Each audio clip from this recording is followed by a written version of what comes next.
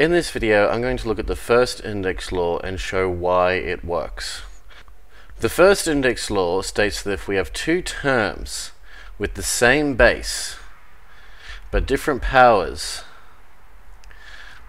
that are then multiplied together, then we have to add those powers. So we would have m plus n.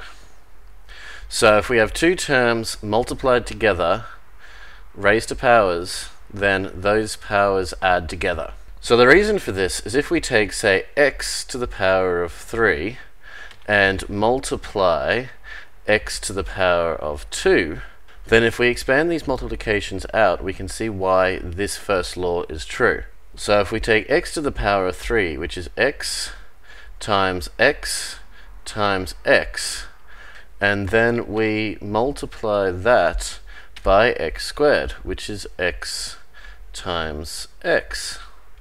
This then gives us x to the power of 1, 2, 3, 4, 5.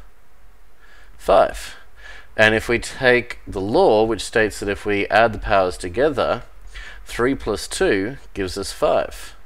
So we have that 3 plus 2 gives us 5. So these two are the same, therefore the first index law works.